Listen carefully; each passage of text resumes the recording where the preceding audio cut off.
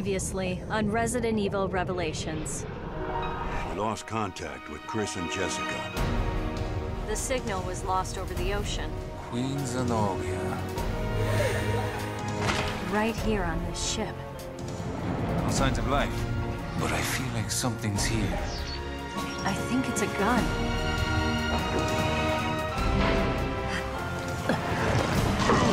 This is not good.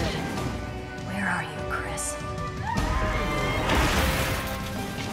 Chris! What is this? Oh, great. Shit! It's a trap! It's time you learned the truth. Miss Valentine.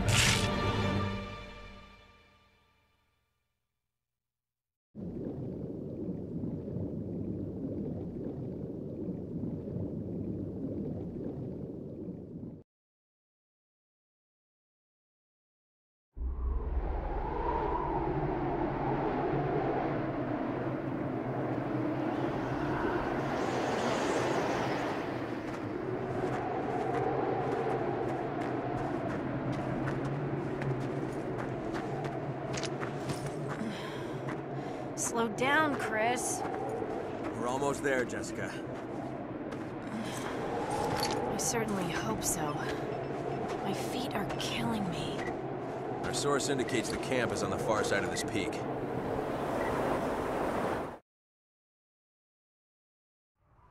Maybe it's the weather, but I still can't make contact with HQ. Naja, damit erstmal schönen guten Abend und herzlich willkommen hier zurück bei Totally Nuts, beziehungsweise bei Let's Play Resident Evil Revelations. Ähm, ihr seht durch die langsame Drehung und keine Ahnung, was er machen soll, der Toffee spielt jetzt. Ja, genau. Ähm, und wir spielen äh, Chris Redfield.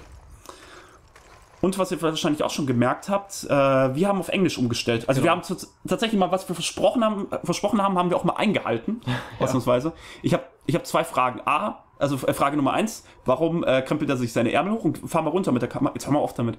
Ähm, und, und Nummer zwei, ist es, ist es die Standardausrüstung, dass man äh, in so einer Eiswüste Hotpants mit, äh, mit lila Leggings trägt? Oh, da, da wird es schon ganz schüchtern, schau mal. Ganz verlegen. dass, dass Chris eine Schere dabei hat. Ja.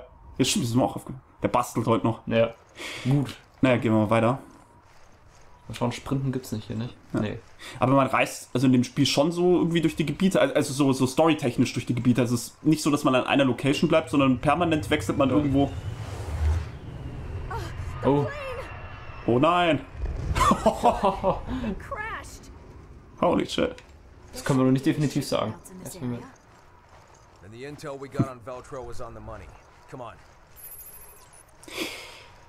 Okay, so richtig wissen wir noch nicht, was hier los ist, aber naja. Bin ich jetzt mal gespannt. Zum Glück können wir uns hier über den diffusen Licht in, äh, Licht in dieser äh, unbekannten Berglandschaft nicht verlaufen. Das stimmt. So. Jesus. No one could have lived through that. Ja, dann können wir wieder zurückgehen. Ja, gut. Hat sich jetzt hergegeben. Boah, äh, geht da trotzdem mal hin. Ich glaube, ich glaub, das ist dieses. Äh, kenn, kenn, ja, kennst du diese Geschichte von, von diesen Leuten, die mit einem Flugzeug abgestürzt sind und, und die dann, die dann äh, systematisch angefangen haben, sich gegenseitig aufzuessen? Ja, Das, ich glaube, das ist diese Szene, da hat es angefangen. ja, wahrscheinlich. Chris Redfield ist der einzige Überlebende.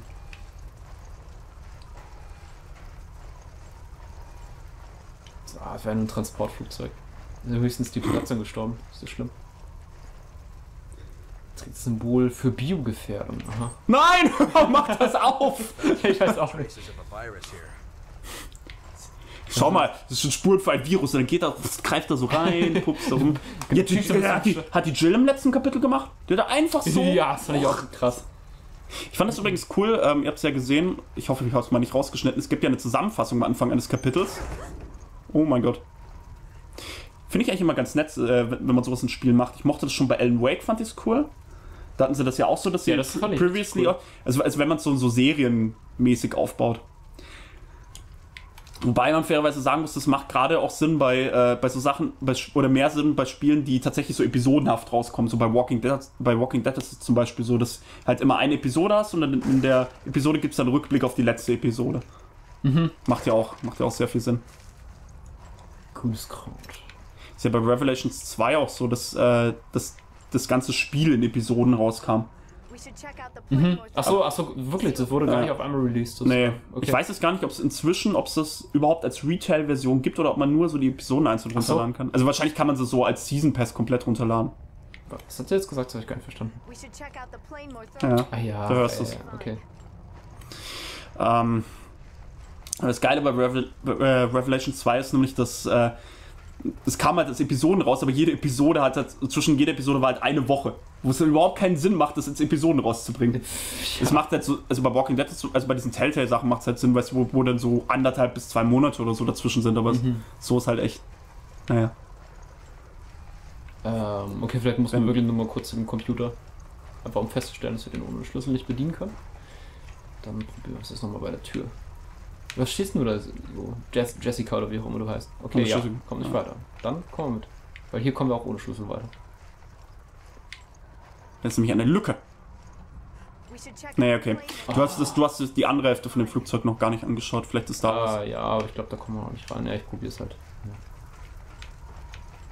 So, hier ist nichts mehr. Nee, da ist ja auch nichts mehr. Da kannst du nicht hin.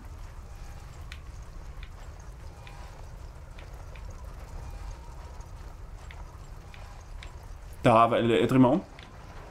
Umdrehen. Links, links, links, links, links, links. Da nicht was? Ah, ja, okay.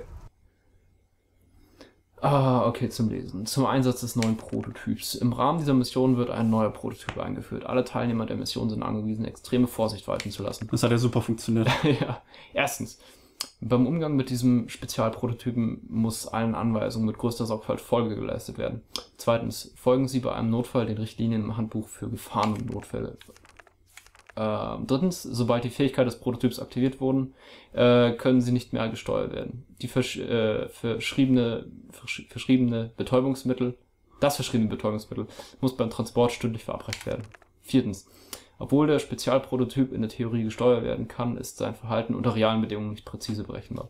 Kontakti äh, kontaktieren Sie bitte die Basis über die Standleitung, sollte er nicht mehr kontrolliert werden. Standleitung, die sind in einem Flugzeug. Ja, ich. Oh, da liegt noch so eine Notiz. Da liegt Munition. Dann die Kiste. Ja, schau mal die Kiste vielleicht noch an, die haben wir Ja. nämlich auch noch nicht angeschaut. Und lass mal alle Prototypen frei, die hier Ja. rumlaufen. Wo war die Notiz? Ja. Ah ja, nee. Ah, okay, Doch. doch. Ja. Okay, Ein Mensch war es nicht. Ja, okay. What the hell were they carrying? Ja, ich würde einfach mal spontan tippen, dass wir das oder dem bald begegnen werden. Ja. Ob es eine riesige Made ist oder dieser komische äh, Schlabbertyp, den wir da ähm, mit Jill und ihrem Kollegen schon gesehen haben. Ja. Man weiß es nicht. The offensichtlich noch nicht fertig. we find. Ja, du arbeitest aber auch nicht investigativ. Was ist das denn so? Ja, der wird schon nix sein. Und dann, Ja. hast du den Typen eigentlich? sch- Schau nochmal. Ja, ich habe den schon angeschaut. Du musst den Tod ins Gesicht blicken. Durchgebrannt. Ich glaube, der Co-Pilot ist durchgebrannt. Das ist wirklich. Der lag ordentlich auf dem Dreh. Dreh ich mal um. Warte, jetzt schau mal, ob da. Okay, da liegt nichts. Hm. so, ich gehe jetzt Naja. links mal komplett lang und schau. Warte einfach, bis irgendwas aufploppt, was ich machen kann. Äh, du kannst scannen. Sind wir blöd. Wie, wie geht das? Du, äh, linker Bumper. Ah. Oh, sind wir blöd. Ja, Ja, ich dachte, ich dachte, Chris kann das nicht. Der kann das nicht. Und das hier ist Das ist, viel zu, das ist viel zu blöd, um so eine Hightech-Ausrüstung. Die- Dem Kerl gibt keine Hightech-Ausrüstung. Dir den Mann. Diesen Steroid. Steroid-Typen da. Wenn die sich nach dem Einsatz hier in der Kälte erstmal direkt nach Afrika versetzen lassen. Das Geile ist, ich glaube, hat er in Afrika sein Outfit gewechselt? Das ist doch exakt das gleiche dann an, oder? Bei der Hitze. Mm, ja, Da zieht er sich wahrscheinlich die dick an. Mütze aus, ja. Hier ist die Steuerung nicht invertiert, das ist ja strange. Da müssen wir wahrscheinlich noch einstellen. Ja, geht schon.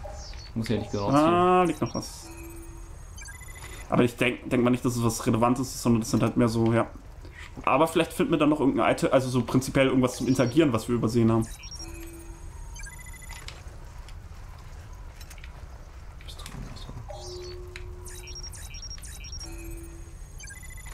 Aha, Schlüssel. Nein, Flugplan. aufgenommen, Verdammt. okay. Den hätten wir ohne Scan hätten wir den niemals gefunden. Ja. Unglaublich. Der Valkyrian Murky Airport. Mine. Was? Die Biene. Okay. Eine Mine. zu tief und zu gierig haben die Leute von Umbrella gegraben. Obwohl Umbrella ist das ja gar nicht. Ich muss das Flugzeug noch genau untersuchen. Okay. Ich komme über. Also noch seltsamer als, als seine hochgekrempelten Ärmchen finde ich die, äh, finde ich ihre lila Leggings. Die machen mich irgendwie. Machen mich Ja, ein die- bisschen, die ja ein, bisschen, ein bisschen heiß, aber auch sehr verwirrt. Ich, also das ist so meine, meine Stimmung aktuell. Es ist.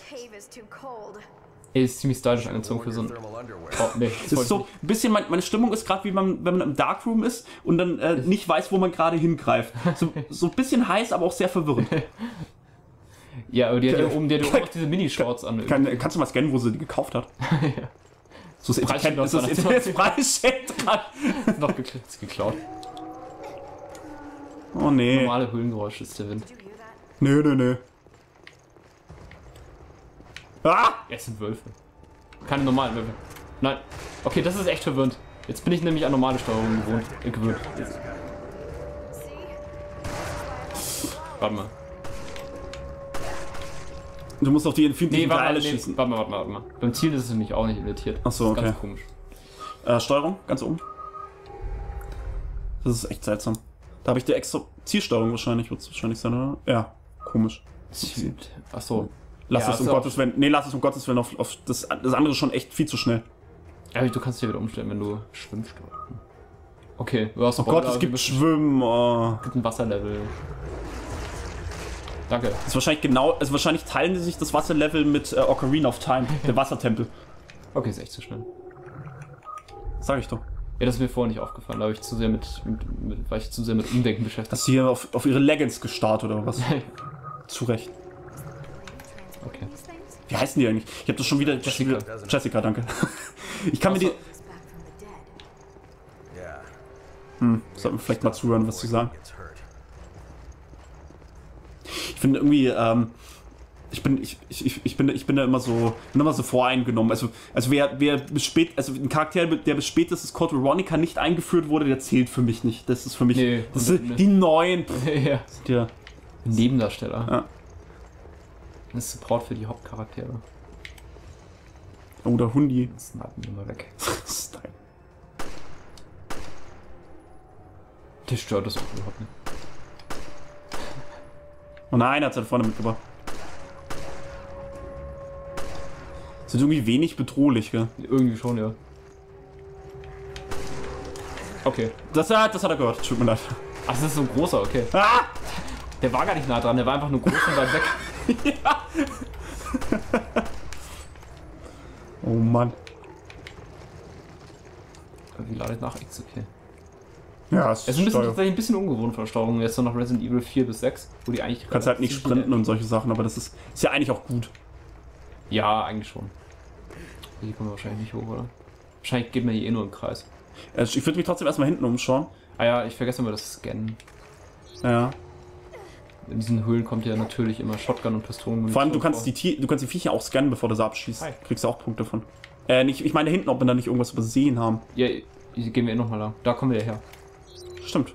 Also ich, also ich gehe jetzt quasi nur nochmal kurz. Ja, ja. Da, liegt zum Beispiel Munition. Also Ja, die da- sehe ich da- auch ohne da war, Scan. ich, da war ich aber schon, die war ursprünglich. Da, die war ja, ursprünglich- ja, ja. Ich habe das gescannt. Ich, ich habe das Ja. gesehen. Ja. Jetzt du schon mal in der vorigen Episode gemeint, das, das Scannen ist so ein Feature irgendwie, ich bin, ich bin mir sicher, an- an und für sich ist cool, aber irgendwann, wenn man drüber nachdenkt, geht es einem, glaube ich, nur noch tierisch auf. Uah! Oh. Kannst, du- kannst du den cool im Sprung abschießen, dass der vers- ich, vers- ich runterfällt? versuch's. Okay. Mach mal, versuch's tra- bei dem mal. Nein! Es hat nicht geklappt. Jetzt haben wir den Salat. Hält ja nix aus. Nee. Hey! Die haben auch so einen aufgebrochenen Brustkorb irgendwie. Stimmt. Der war eigentlich schon so gut wie tot. Ja. BOW-Falle. POW-Falle, eine granatenähnliche Hilfswaffe. Sobald sie den Boden berührt, ertönt ein spezieller Ton der Feinde in der Umgebung anlockt. Ja, super. Okay. Achso, ist ja eine Falle, okay. Ja. Die Granate explodiert und zerstört alles in ihrer Umgebung. Bei korrektem Einsatz höchst effektiv. Ja, okay, also Ja, das ist, höchst. das ist, das erinnert mich so dran, wie, wie die äh, einem immer so eine Hundepfeife verkaufen möchten. Und bei, und bei locker, also ich sag mal locker 50% der Hunde funktioniert die einfach nicht, weil denen das Ja. scheißegal ist. Und, und deswegen, also mein Rat an euch, kauft euch keine Hundepfeife, funktioniert nicht oder bringt nichts. Wie setze ich die an mit, dem linken Trigger wahrscheinlich? Ne, mit dem linken Trigger ziele ich. Mit rechten Trigger vielleicht? Mit rechten wahrscheinlich liegen, ja. Okay. Kannst ja mal hier liegen. Versuch mal. Probier es mal.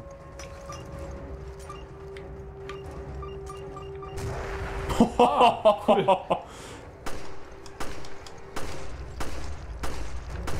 Oh, liegt nochmal einer. Ja. Und lauf, lauf, lauf, lauf, lauf. Ja, ich- das ist eine Explosion. Die Expl also die, die ist auch. Die, die, die, oh mein Gott. Hunde, so- Hundegift ist Menschengift? Nur effektiv gegen BOWs. Stimmt. Du hast dich auch anlocken lassen von dem Ton, oder? ja.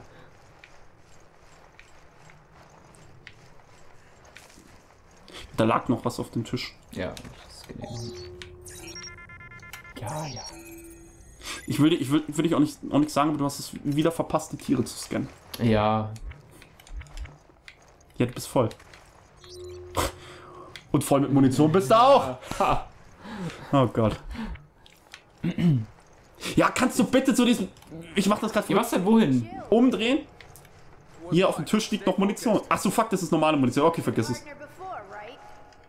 Aber da riecht noch Granate. So. Ah, warum hat er die jetzt nicht gesehen beim Scannen? You know, just asking. Ja, weil es offensichtlich war. Die für super nervige Synchronstimme irgendwie. Stellen wir gleich wieder auf Deutsch um. ja, wirklich. Kann man nicht vorstellen, dass sie. besser ist. Ja, Munition, okay. Aber von dieser Jessica war noch nie die Rede und das spielt ja eigentlich äh, vor Resident Evil 5. Ja, Ich glaube, Also, die. Ich, jetzt, glaub jetzt, jetzt, die sehen wir die, Dun die, große Zukunft. ne, jetzt sehen wir die dunkle Seite von Chris, der bringt die um und, und verscharrt die dort. ja.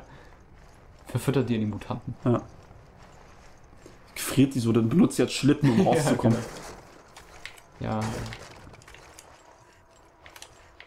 Man kann ja auch ab. Wir müssen mal schauen, wo man denn upgraden kann in dem Spiel. Ich weiß, dass es Upgrade-Funktionen gibt und ich, ich glaube, das erste, ja- was ich gerne upgraden würde, wäre äh, Munitionskapazität für die Pistole. Mhm. Wenn man so viel Munition rumliegen lässt. boah. Ja, muss man überlegen, wir haben ja schon so Ich 100 mache- Schuss liegen lassen. Warum? Warum hat der keinen Platz? Ich sag's dir, weil er seine Arme hochkrempelt, anstatt dort irgendwie so Taschen. Wow, das war nicht meine Schuld. Toffi, da gebe ich dir einmal den Controller und dann Ja. sowas. Weißt du, was das, das Problem ist? Der hat, der, hat in, der hat in den Jahren niemals seine Beine trainiert. Der, der hat immer nur Armtraining Ja. gemacht und deswegen sind die sofort gebrochen. Instant. Diese Streichhölzer. Ja, ich glaube, das Bein ist ja Ah! Achso, ich kann schießen. Ja, ich würde es auch machen. Ja, ich, ich kann nicht zielen. Hallo. Natürlich kannst du zielen. Ja, jetzt schon. Gerade eben ging es nicht, gerade eben. Ja, ja, ja.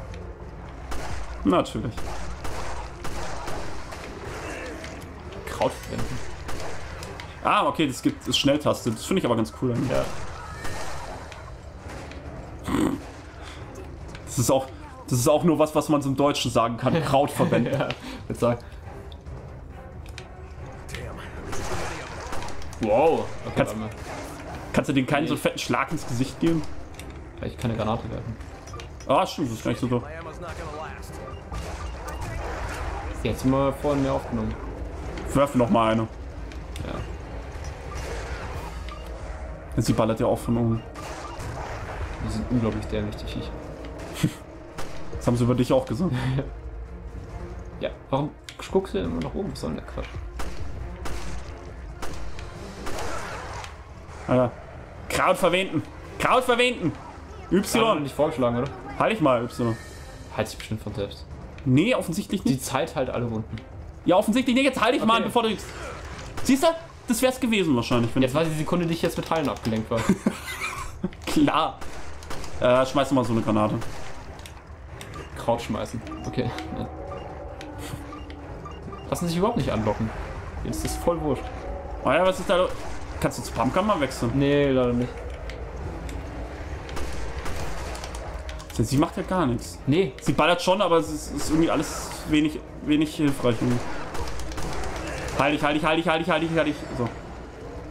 jetzt ist sie da. Das ist doch, das ist doch sicher die Mutter. Mach die Mutter Ja. mal vielleicht. Die Alpha. Mama Wolf. Ach, Achtung, hier spricht Mutter Gans. Folgende Wagen wurden ausgeraubt. Was? Das ist, bei, das, das, das ist bei Simpsons, wo sie in so einem, äh, in so einem Tier-Streichelzoo-Park sind. Also so halb, halb Vergnügungspark, halb Streichelzoo. Ach, Und, das ist die Folge, wo Lisa Vegetarier ja, genau, die Ah, ist okay. es. What up? Man kann so eine Durchsage, Achtung, hier spricht Mutter Gans. Folgende Wagen wurden ausgeraubt. Aber wo sie dann nach Hause fahren kaputte Scheiben sind. Ja. Oh, scan mal die Umgebung. Ja. Trust is built through actions, not words. That's so like you, Chris. It's always about the job, isn't it? Ja, wir, können, wir können auch hier an, ganz anders machen, wenn du möchtest. Chris ganz privat. Ich glaube, ich glaub, Chris ist auch relativ asexuell, weil der hat. Ich, ich, ich, ich, glaub, ich glaube, der hat auch kein, wie kann man sagen, er hat auch keine Testikel mehr durch, äh, durch die Durch ganzen die ganzen Steroide. Ja, Ja. das weiß man ja. Ich brauche keinen Sex, ich habe meine Muskeln.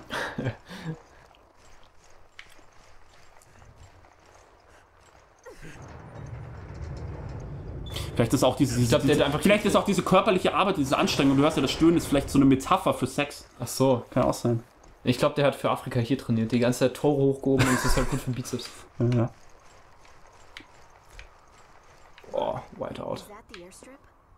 Nee, das ist Schnee. Ah, Ah, okay.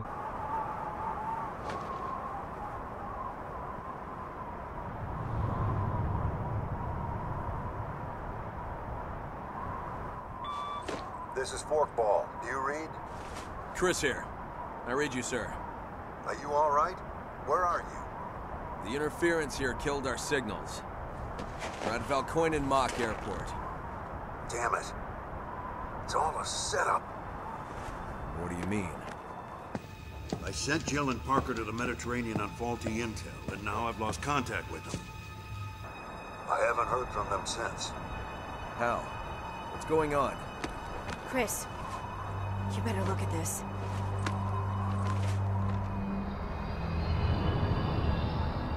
It's impossible. O'Brien, you're not gonna like this. We found the Veltro crest. Then stories of their resurrection are true. If that's the case, then Then the setup that got Jill and Parker. It was all. Yeah, I'd almost guarantee it. O'Brien, we'll go after Jill and Parker. I hope that's not a problem. Not at all. Make your way to the Mediterranean, and we'll keep you posted. Any idea what's going on? We'll sort it out later. We have to move.